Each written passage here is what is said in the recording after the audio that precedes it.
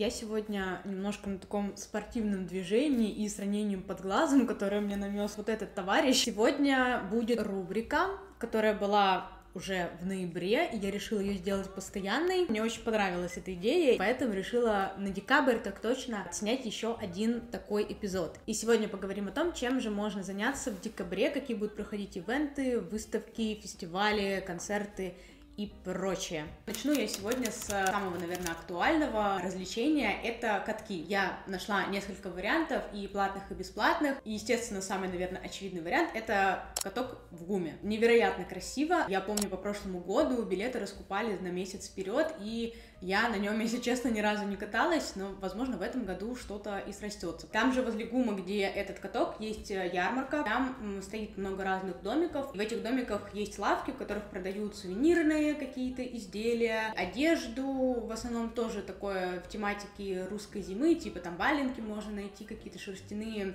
жилетки, матрешки даже. Это все безумно красиво и безумно дорого на самом деле для таких вещей. Возможно, ценность этих вещей в том, что это куплено в центре Москвы. Возможно, поэтому эта цена в какой степени может быть оправдана, по крайней мере, для туристов. Мы туда ходили на прошлых выходных, и это правда было сказочно. Единственное, что меня э, очень сильно раздражало, это количество народу. Естественно, это было еще, по-моему, суббота. Логично, э, что в центре Москвы в это время, тем более на ярмарке возле ГУМа, будет просто толпища народу. Также я бы советовала пойти на каток на ВДНХ. Я там была несколько раз. Э, очень большой каток, красиво. И еще я в интернетах нашла интересный э, каток в комплексе каком-то спортивном, по-моему, если я не ошибаюсь, который называется The Ring. Там просто очень красиво это выглядит. По-моему, там по ощущениям моим визуальным каток не самый большой, но в плане эстетики мне понравилось. Это все варианты катков, которые за денежку, но вот вам вариант бесплатного катка, он находится в парке Яуза. Обычно катки открываются где-то в конце ноября, начале декабря и работают аж до февраля, поэтому времени еще много. Узнайте график работы катков на сайте и берите на заметку себе такое спортивное времяпровождение. Только такой спорт на самом деле я уважаю, потому что спорт на улице, типа бега какого-нибудь, вот именно такой спортивный спорт, или в зале меня это вообще не вдохновляет, но вот спорт, который чисто для развлечения, вот этот спорт мне прям нравится. Ради такого веселья я готова и подвигаться своими хрустящими локтями и коленями. Следующий вариант, который я бы хотела посоветовать, это выставка, а, которая проходит в галерее Триумф. На нее можно попасть бесплатно и открыта она до января. Выставка, о которой я говорю, называется «Хроника цветущих событий». Часть проекта «Системная сборка», идея которой заключается в выставлении различных работ деятелей искусства, художников из разных уголков нашей страны. И конкретно в этой выставке «Хроника цветущих событий» будут выставляться работы нижегородских художников и деятелей искусства. Там будет и инсталляция, и фотография, и скульптура, и живопись. Мне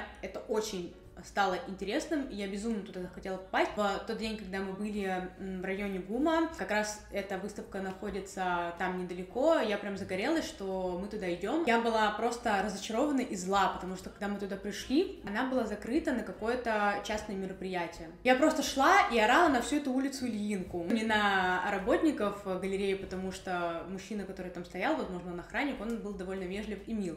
Но я потом шла и возмущалась э, Вите, что какого хрена Лена, я хотела посмотреть эту выставку, они не имеют права ее закрывать, написано, что они работают до 8, но потом я поняла, что, ну, выставка-то бесплатная, в принципе, чем мне тут выпендриваться? Надеюсь, что завтра я до нее дойду снова. И если я все-таки дойду завтра, то есть успею до того, как я смонтирую, выложу это видео, прикреплю видео или фото с той выставки. И еще одно событие для любителей искусства во Флаконе. 9 и 10 декабря проходит фестиваль Art Dict Fair. Сейчас уже, наверное, как раз число 9, поэтому у вас есть шанс туда залететь хотя бы 10 -го. Там будут проводиться бесплатные лекции и мастер-классы от художников и дизайнеров. Также там будет арт-маркет, на котором можно будет приобрести какие-то арт-объекты для себя или как раз-таки на грядущие праздники в качестве подарков. Там же 28 декабря для любителей Гарри Поттера будет проводиться концерт симфонического оркестра, где будут исполняться музыкальные мелодии из э, Гарри Поттера, собственно. Кстати, у меня каждый год проходит марафон просмотра Гарри Поттера, хотя мне кажется, это вообще у каждого второго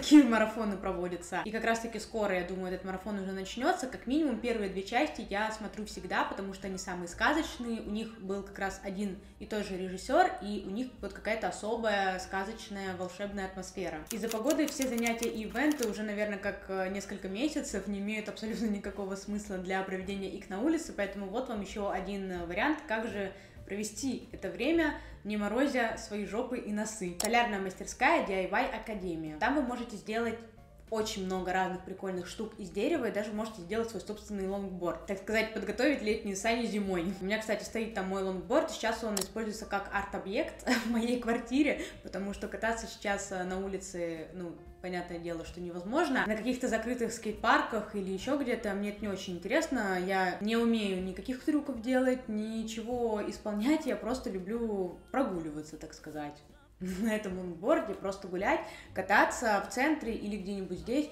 какой-нибудь парк найти, что на самом деле сложно, найти какой-то парк, где будет нормальная дорога, позволяющая кататься на доске. В общем, если вы не катаетесь на лонгборде, то можете использовать его тоже как арт-объект, ну или создать что-нибудь э, интересное, подходящее под ваш интерьер, красивое, не обязательно лонгборд, это я просто как вариант, потому что там есть такой э, мастер-класс. А так в целом он там не один, можете выбрать что-то по вашему интересу. Касательно мастер-классов, я тут недавно наткнулась на одну интересную мастерскую, которая называется Дом Липы. И в декабре там будет проводиться парочка очень интересных мероприятий. Например, 13 декабря будет проводиться чисто такая женская встреча, где можно под венцо обсудить какие-то насущные женские темы под руководством э, сексолога и специалиста по психосоматике. Сколько я понимаю, это в одном лице лице. То есть это будет один психолог, который будет сопровождать, собственно, эту встречу и вводить ее в правильное русло, для того, чтобы можно было ловить какие-то инсайты, проработать какие-то свои темы. Понятное дело, что это не то же самое, что групповая терапия или уж тем более личная терапия, где идет гораздо более глубокая тема,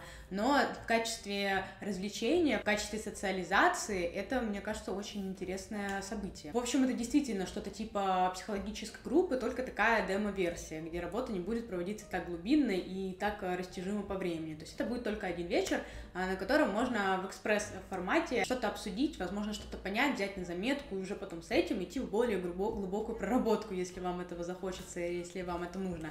Если нет, то это можно воспринимать просто как э, интересное времяпровождение. Я пару лет назад ходила на одну терапевтическую группу, которая длилась год, и я вам скажу, что это очень классный опыт, поэтому рекомендую. Там же 17 декабря можно будет прийти и сделать какую-нибудь новогоднюю композицию или букет, или какое-то изделие, которое можно будет э, поставить дома в качестве украшения или кому-то даже подарить. Москва зимой — это просто что-то сказочное и невероятное каждый божий год. И я даже, когда в Минске жила, я приезжала сюда на новогодние праздники, очень сильно восхищалась ну, вот этому масштабу, этой красоте. Поэтому мой глаз очень сильно зацепился на одну экскурсию. Это автобусная экскурсия, которая проходит ежедневно. И она называется очень просто и говорящие «Огни новогодней Москвы». Примерно три часа проходит эта экскурсия. Автобус водит вас по Москве, по самым красивым ее уголкам, э, просто невероятно украшены. Мне очень нравится, как внутри выглядит кинотеатр художественный. Рекомендую сходить в этот кинотеатр, особенно сейчас, там очень красиво украшено. И вообще мне в целом не только зимой очень нравится интерьерная часть внутри этого здания. Кстати, говоря о кино и сериалах, я вам рекомендую заглянуть в кафе «Публика», потому что там, во-первых, вкусно кормят, а во-вторых, там периодически крутят фильмы и сериалы, например, там «Друзья» или «Офис». Как раз можно будет посмотреть а, что-то на новогоднюю тематику, поэтому сходите, вкусно покушайте и посмотрите кино или сериал. Ну и раз уж я заговорила о вкусной еде, переходим к моей любимой части. Я вам посоветую сейчас, э, куда ходить конкретно сейчас в этом сезоне, где будет и вкусно, и красиво, по-новогоднему украшено, и в целом атмосфера праздничная. Первое — это ресторан «Батлер». Там каждый год что-то просто невероятное. Украшено безумно красиво. Ценник там, конечно, не бюджетный, но если что, прийти посмотреть декорации на улицу можно и бесплатно. Следующий вариант попроще — это заведение, которое называется Арома. Внутри стоят миниатюрные украшенные елочки, и некоторые блюда подаются на этажных тарелочках, на которых нарисованы цветочки. Я как раз такое люблю. Ну и завершу эту подборку кафешкой Excellent. Там концепция в том, что там только завтраки. Завтраки целый день. Очень вкусные, разнообразные, разные, и в целом мне нравится интерьерчик, он очень такой милый, не слишком приторный, немножко нежнятинка, в общем, все как-то на балансе, красиво и стильно. Мне прям приятно там находиться. Единственное, что там, конечно, народу бывает много, особенно в выходные. Иногда приходится даже в очереди постоять. Я говорю сейчас конкретно о точке на Маяковской. К Новому году фасад там украшен в виде подарка розового в пайетках. Это выглядит очень гламурно и ярко, и я как раз завтра туда собираюсь пойти и посмотрю, как это выглядит вживую, потому что после того, как украсили, я там еще ни разу не была. Ставлю вам фотки, видео, которые сделала я со вчерашнего похода. Я никогда, сколько раз там была, не разочаровывалась, все всегда очень вкусно, очень красиво. Собственно, все. На этом я завершаю эту подборку на этот месяц. Посещайте все эти места, развлекайтесь, получайте удовольствие. Я, правда, очень старалась для того, чтобы собрать подборку максимально интересную. Я исходила, конечно же, из своих вкусов и интересов. Мне кажется, что у меня довольно широкий э, круг интересов и разноплановый, поэтому хотя бы один пункт из этого списка каждому зайдет. В общем, желаю вам интересного и веселого декабря. Всем спасибо и пока! The housetop, reindeer park.